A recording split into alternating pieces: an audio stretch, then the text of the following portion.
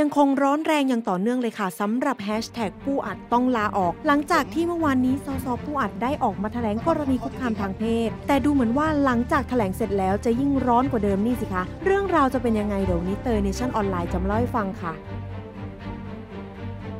เมื่อวันที่ 3 พฤศจิกายนที่ผ่านมาค่ะ นายไชยามพวานมั่นเพียรจิตต์ หรือว่าสสปูอัด เขาก็ได้ออกมาแถลงการชี้แจงเรื่องกรณีคุกคามทางเพศค่ะ กรณีแรกค่ะ นางสาวหนึ่งที่เปิดเผยว่าเคยร่วมงานกับสสปูอัดหลายปี เธออ้างว่าสสคนนี้มีพฤติกรรมตีสนิทแตะเนื้อต้องตัวแล้วก็ทำให้เชื่อใจ แต่ว่าตอนนั้นยังไม่ได้คิดอะไรค่ะ แต่เธอก็ได้นำเรื่องนี้ไปร้องเรียนต่อกรรมการวินัยพักค่ะ และหลังจากเกิดเรื่องก็พบว่ามีคนในทีมอีก 2 คน ถูกคุกคามทางเพศเช่นเดียวกัน เธอจึงต้องออกมาส่งเสียงให้สังคมได้รับรู้ค่ะ นอกจากนั้นเธอก็ไม่อยากให้ใครต้องมาเจอแบบเธออีกด้วย ส่วนทางฝั่งคุณปูอัดเขาบอกว่า ผู้ร้องคนที่หนึ่งนั้น ยินยอมตกลงไปทานข้าวด้วยกันเอง ซึ่งเป็นการพูดคุยกันปกติ และหลังจากที่ตนชนะการเลือกตั้งก็ได้ส่งข้อความแสดงความยินดี และย้ำว่าหลักฐานทั้งหมดได้นำส่งกรรมการพักหมดแล้ว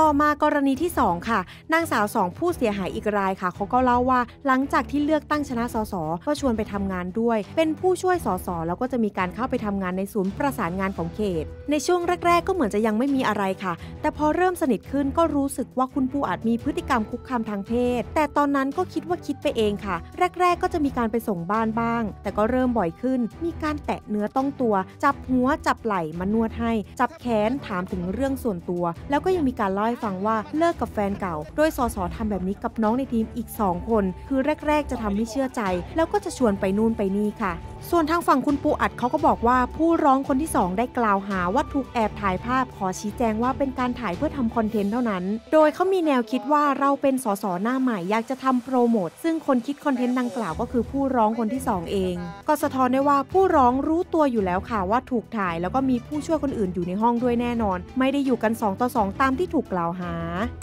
กรณีที่ 3 ค่ะ ผู้เสียหายเล่าว่าเข้ามาทำงานได้ประมาณ 1 เดือนเศษ จากการชักชวนของสส และก็เริ่มรู้สึกผิดปกติกับสส จากคำถามที่พูดจี้ถามตลอดว่ามีแฟนหรือยัง ตนเองก็บอกว่ามีคนคุยอยู่แล้ว แต่สส ก็บอกว่ายังโสดอยู่นะสิ คอยถามอยู่ตลอดบางครั้งก็มีการถึงเนื้อถึงตัวชวนไปไหนมาไหนบ้าง แต่ว่าตนก็ไม่ได้คิดอะไรมาก จนกระทั่งน้องในทีมค่ะ มาเล่าให้ฟังว่าโดนอะไรมา ซึ่งจากหลักฐานและก็เหตุการณ์เป็นคนละโลกกับที่สสพูดเลย จึงได้รวมตัวกันนำเรื่องดังกล่าวไปแจ้งพัก ทางฝั่งคุณปูอัดเขาก็ยอมรับค่ะ ว่าที่ผ่านมามีการลงพื้นที่ และการลงพื้นที่แต่ละครั้ง ก็มีการสัมผัสตัวผู้อื่นอยู่มาก แต่ยืนยันนะคะว่าการแตะต้องการสัมผัสไม่มีเจตนาประสงค์เรื่องทางเพศ แต่จากคำแถลงนี้นะคะ ก็ทำให้ชาวโซเชียลเขาโมโหกันมาก ๆ เลยค่ะ นั่นก็เป็นเพราะว่าทางคุณปูอัดเขาได้นำหลักฐานที่คุยกันทางแชทกับผู้เสียหาย ออกมาเปิดเผยต่อสื่อมวลชนในที่สาธารณะ หลาย ๆ คนค่ะเขาก็มองว่านี่เป็นการกระทำที่ยิ่งตอกย้ำผู้เสียหายหรือไม่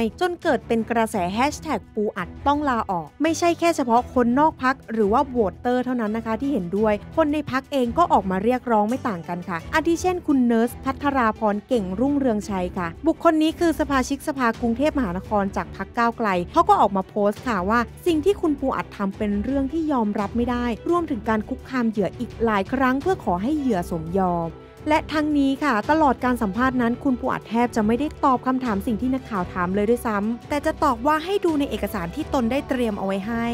แล้วเรื่องราวจะเป็นยังไงต่อไป คุณปูอัดจะยอมลาออกเองไหม เราก็ต้องมาติดตามกันต่อไปค่ะ ก็ต้องขอโทษจริง ๆ ครับ